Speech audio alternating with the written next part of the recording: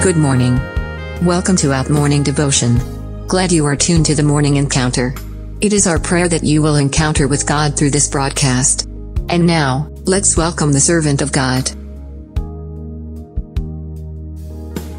Praise the Lord, my dear viewer, again. Yesterday we were talking about how the wise people prepare well for their goals. We were talking about the wise uh, virgins who took extra oil with them as they waited for the bridegroom. In contrast to that, we had the foolish uh, virgins who did not carry along with them extra oil.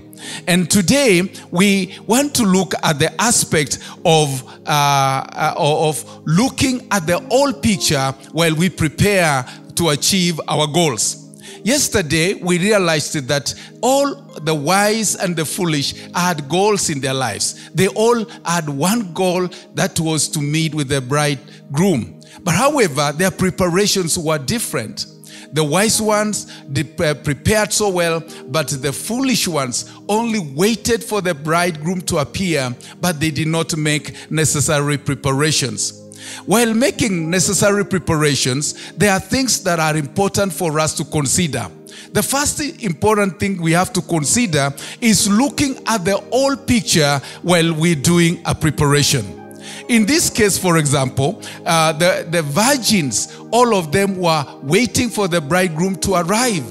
And uh, the wise uh, virgins had to look at the whole scenario, had to look at the nitty gritties for them to be able to wait and be successful in their venture. That is a key thing when doing preparation. You don't only make preparations for, uh, based on a vacuum, you have to make necessary preparation when you are looking at your entire goal. That is a key uh, component of wisdom. And the wisdom that comes from above teaches us that we've got to look at the whole scenario. We've got to look at the whole picture while we are making the necessary preparations even to achieve our goals. It is my prayer today that as you're going out into the day, that the Lord God Almighty will give you the grace to make necessary preparations. Life demands that we've got to actually look into the all issues of life Suppose, for example, you have a business in mind, you have a, you have a goal, uh, maybe let's say you want to, uh, to do a business, you want to go to school, you want to marry, you want to uh, have a good health.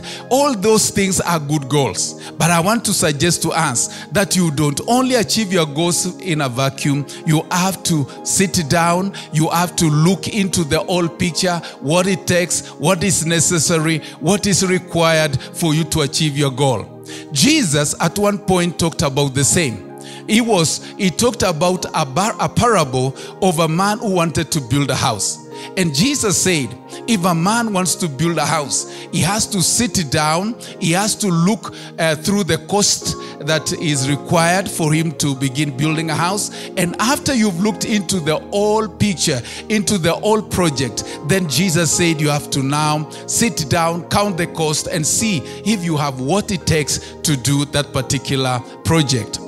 In this case, we are actually supposed to look into the whole picture of the project and after that we now begin to do and to uh, and to work on our goal.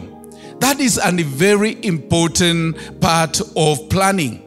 We look into the all and then after that we now begin to write it down and put it down the things which are necessary for us to achieve our goal so the wise will always look at the whole picture of the project or at the whole program or at the whole uh, aspect of the goal before embarking on beginning to work on it. It is my prayer today that indeed God will give you the wisdom to be able to look at the whole journey before beginning the journey.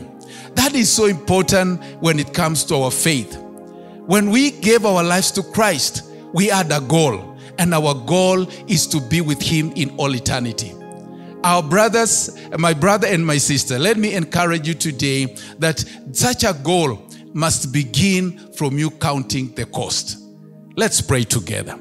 Our Heavenly Father, I pray for my dear viewer today, the Lord, as they set their goals in life, as they set their earthly goals and their heavenly goals, that they will be able to look through and to think through what it will all take for, for, for us to achieve these goals. I pray, Heavenly Father, that you will give us the grace to and the courage even to tackle issues which at times are not so good or encouraging. I pray for the grace to look into the old picture.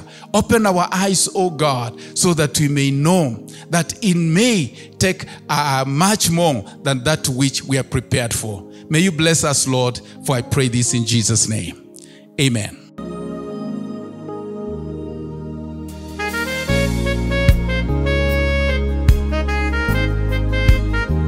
That was the morning encounter. We are glad that you tuned in. Follow us on YouTube at CITAM Eldoret TV. Our Facebook page is CITAM Eldoret. Our Twitter and Instagram handles at CITAM Eldoret. And our website is eldoret.citam.org.